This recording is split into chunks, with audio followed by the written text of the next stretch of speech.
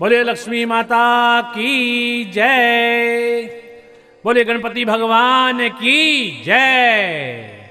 गणपति बप्पा, मोरिया। सत्य सनातन धर्म के मानने वाले सभी ज्ञाता भक्तों को कैलाश पंडित का नमस्कार। प्रिय भक्तों, आज हम आपको सुनाने जा रहे हैं दीपावली महोत्सव में प्रमुख दिन, दीपावली। जिसे दिवाली, दीप अवली, दीप पंक्ति, धूमधाम, न जाने कितने नामों से पुकारा जाता है भारतवर्ष के अंदर। दीपावली का त्योहार कार्तिक मास के कृष्ण पक्ष की अमावस्या को न केवल भारतवर्ष में, बल्कि पूरे विश्व में जहाँ जहाँ हिंदू समुदाय के लोग रहते हैं, सत्य सनातन धर्म को मानने वाले लोग रहते हैं, पूरे हर्षोल्लास के साथ पवित्रता के साथ मनाया जाता है। भारतवर्ष में इस दिन घरों, दुकानों और व्यापारिक संस्थानों को विभिन्न प्रकार से सजाया जाता है। चारों ओर दीपमालाएँ, बिजली की झालरें आदि लगाकर रोशनी की जाती है। इसी दिन व्यापारी वर्ग अपने बही खातों का पूजन करते हैं या नए खाते बनाते हैं। महालक्ष्मी जी इसी दिन समुद्र मंथन के समय क्षीर सागर से प्रकट हुई थी।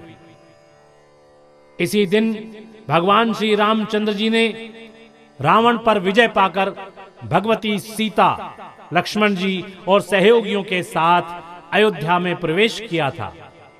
इसी दिन महाराज विक्रमादित्य ने सिंहासन पर बैठकर विक्रम संवत की घोषणा की थी और भगवान वामन ने इसी दिन राजा बलि को पाताल लोक का राजा बनाया था। इन्हीं सब कारणों से इस दिन पूरे भारतवर्ष में भारी उत्सव मनाया जाता है।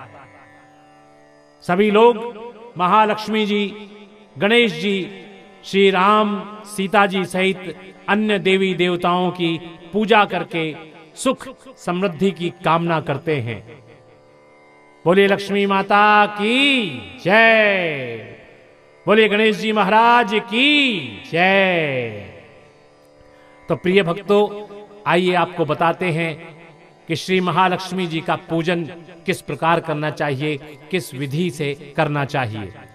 पूजन सामग्री, केसर, रोली, चावल, पान, धूप, दूध, खील, बताशे, सिंदूर, मेवा, मिठाई, दही गंगा जल, सुपारी, एक जल का लोटा, अगरबत्ती, रुई, घी का दीपक, कलावा, दिया सलाई और एक नारियल। ये सभी आपको एकत्र करके पूजन की सामग्री तैयार करनी चाहिए। विधि क्या है? एक थाल में या भूमि शुद्ध करके नवग्रह बनाएँ। रुपया, सोना, चांदी, श्री लक्ष्मी जी, श्री गणेश जी व सरस्वती जी श्री महेश आदि देवी देवताओं को स्थान दें। यदि कोई धातु की मूर्ति हो तो उसको साक्षात रूप मानकर पहले दूध से, फिर दही से, फिर गंगा जल से स्नान करा के वस्त्र से साफ़ करके स्थान दे।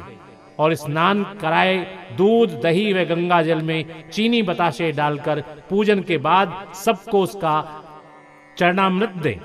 घी का दीपक जलाकर पूजन आरंभ करें और श्रद्धा के साथ बोले, बोलिए गणपति महाराज की जय। बोलिए माता लक्ष्मी की जय। तो आइए भक्तों, अब हम आपको सुनाते हैं लक्ष्मी जी की कहानी कि कौन सी कथा इस दिन माताओं बहनों को सुननी चाहिए, वो हम सुनाते हैं। बोलिए लक्ष्मी माता की जय। एक साहूकार के बेटी थी वह प्रतिदिन पीपल सींचने जाती थी। पीपल में से लक्ष्मी जी निकलती और चली जाती। एक दिन लक्ष्मी जी ने साहूकार की बेटी से कहा कि तू मेरी सहेली बन जा। तब लड़की ने कहा कि मैं अपने पिताजी से पूछकर कल बताऊँगी। घर जाकर पिताजी को सारी बात कह दी। तो पिताजी बोले, बेटे, वो तो लक्ष्मी है। अपने को क्या चाहिए? बन जा। दूसरे दिन वह लड़की फिर गई। जब लक्ष्मी जी निकलकर आई और कहा, सहेली बन जा तो लड़की ने कहा, बन जाऊँगी। और दोनों सहेली बन गई। लक्ष्मी जी ने उसको खाने का न्योता दे दिया। घर आकर लड़की ने अपने पिता से कहा कि मेरी सहेली ने मुझे खाने का न्योता दिया है। तब पिताजी ने कहा कि सहेली के जीमने पर घर संभाल कर जाइयो। जब वह लक्ष्मी जी के यहाँ जीमने गई तो लक्ष्मी जी ने उसे शाल दुशाला ओढ़ाने के लिए दिया, रुपये परखने के लिए दिए, सोने की चौकी, सोने की थाली में छत्तीस प्रकार का भोजन करा दिया। जीम कर जब वह जाने लगी तो लक्ष्मी जी ने पल्ला पकड़ लिया और कहा कि मैं भी तेरे घर जीमने आऊँगी। उसने कहा, आ जाइयो। घर जाकर चुपचाप बैठ गई। तब पिता ने पूछा कि बेटी सहेली के यहाँ जीम कर आई है खाना खाकर आ गई? तो भी उदास क्यों बैठी है? तो उसने कहा, पिताजी, मेरे को लक्ष्मी जी ने इतना दिया, अनेक प्रकार के भोजन कराए, परंतु मैं कैसे जिमाऊँगी उन्हें? उन्हें कैसे बुलाऊं? अपने घर में तो कुछ भी नहीं है। फिर पिता ने कहा कि बेटा जैसा होगा, वैसा जिमा देंगे। इसमें तू चिंता क्यों करती है? तू गोबर मिट्टी से चौका देकर सफ़ाई कर ले। चार मुख वाला दिया जलाकर लक्ष्मी जी का नाम लेकर रसोई में बैठ जाइयो। लड़की सफ़ाई करके लड्डू लेकर बैठ गई। उसी समय एक रानी नहा रही थी। उसका नौलखा हार चील उठाकर ले आई और उसका लड्डू ले गई। वह नौलखा हार डाल गई। बाद में वह हार को तोड़कर बाज़ार में गई और सामान लाने लगी। तो सुनार ने पूछा कि क्या चाहिए? इस हार के बदले तुम्हें क्या चाहिए? तब उसने कहा कि सोने की चौकी, सोने का थाल दुशाला दे सकते हैं। तो दे दीजिए। मोहरें दें और सारी सामग्री दें। छत्तीस प्रकार का भोजन हो जाए, इतना सामान दे। सुनार ने वो सब चीज़ें उसे दे दी। सारी चीज़ें लाकर बहुत तैयारी करी और रसोई बनाई। तब गणेश जी ने कहा कि लक्ष्मी जी को बुलाओ। आगे आगे गणेश जी और पीछे पीछे लक्ष्मी जी। उसने फिर चौकी डाल दी और कहा, सहेली, चौकी पर बैठ जा। जब लक्ष्मी जी ने कहा, सहेली, चौकी पर तो राजा रानी भी नहीं बैठे, कोई भी नहीं बैठा तो उसने कहा कि मेरे यहाँ तो बैठना पड़ेगा।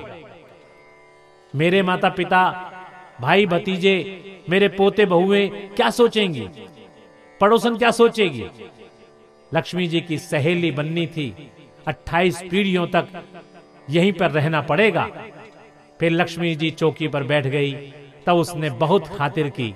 जैसे लक्ष्मी जी ने की, वैसे ही उसने भी की। लक्ष्मी जी उस पर बहुत प्रसन्न हुई। और घर में खूब रुपया धन लक्ष्मी हो गई। साहूकार की बेटी ने कहा कि मैं अभी आ रही हूँ, तुम यहीं बैठे रहना। और वह चली गई। लक्ष्मी जी गई नहीं और चौकी पर बैठी रही। उसको बहुत सा धन दौलत दिया। हे लक्ष्मी माता, जैसे तुमने साहूकार की बेटी को दिया, वैसा सबको देना। कहते को, सुनते को, हुंकारा भरते अपने सारे परिवार को पीहर में देना, ससुराल में देना, बेटे पोते को देना, हे लक्ष्मी माता, सभी के दुख दूर करना, दरिद्रता दूर करना और सबकी मनोकामना पूर्ण करना। बोलिए लक्ष्मी माता की जय। बोलिए गणेश जी महाराज की जय। तो भक्तों, दीपावली के दूसरे दिन सब लोग भोग खाओ औरतें अपनी सासू जी और नंद के पैर छूकर रुपये देती जाएँ और साथ में लड्डू दें और अपनी सभी प्रकार की मनोकामनाएँ पूर्ण करें। तो प्रिय भक्तों, इस प्रकार यहाँ पर दीपावली की कथा समाप्त होती है। स्नेह और श्रद्धा के साथ बोलिएगा, बोलिए माता लक्ष्मी की जय। बोले गणेश जी महाराज की जय। गणपति बापा मोरिया।